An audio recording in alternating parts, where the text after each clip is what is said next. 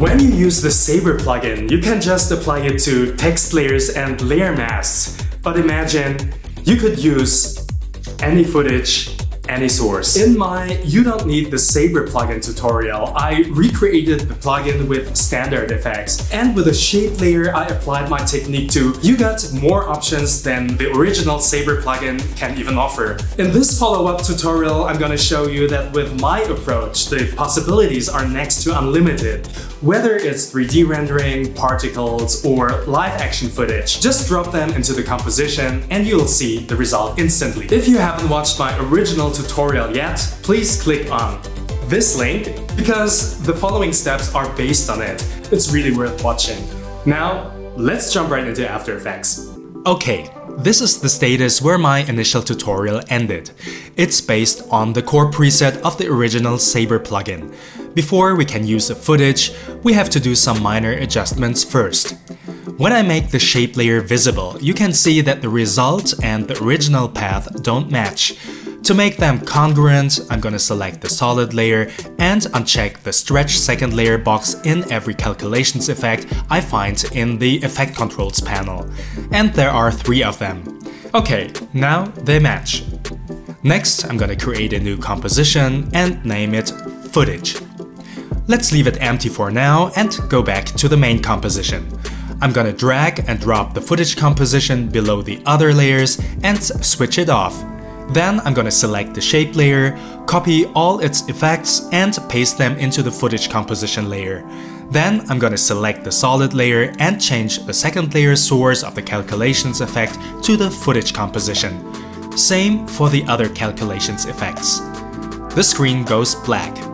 That's because the footage composition is still empty. So I'm gonna open the footage composition and put inside a line art sequence that I rendered in Cinema 4D before. Generally, line art footage is very suitable to get a good result. Because the footage isn't transparent yet, I'm gonna look for the Unmult preset in the Effects and Presets panel and drag it onto the footage. Now the black background is keyed out. Let's see what happens in the main composition. Looks interesting. Of course, you can tweak the exposure if the effect is too strong for you. But let's try another footage instead. In the footage composition, I'm gonna switch off the footage layer, create a new solid and apply the Trapcode particular effect. If you don't have this plugin, please keep watching. It'll produce a nice result worth seeing it. And it's another demonstration that you can use any source footage. I'm gonna click on the designer button, go to presets and select, let's say, the blue Icosa's preset. Hit apply and it looks like that. How does it look like in the main composition?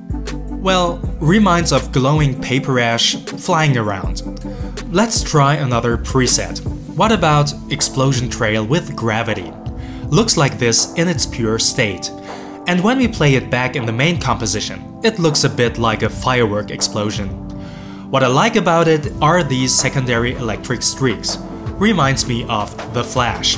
Should make an extra tutorial about it. The cool thing about my method is that we're not limited to graphics. You can also use live action footage. Here's a happy person dancing on a green screen.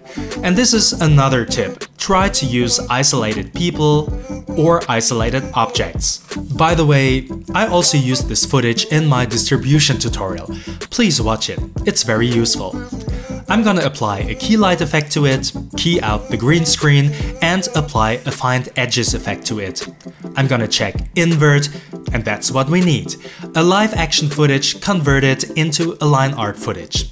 Now, let's watch the result. Reminds of the Human Torch. Should also make a separate tutorial about it. As some of you already know, I'm into superheroes. Speaking of superheroes, I took the final rendered Wonder Woman logo animation that I recreated in one of my recent tutorials and dropped it into the footage composition. This works without using the find edges effect because the background is almost black and the outlines are quite distinct.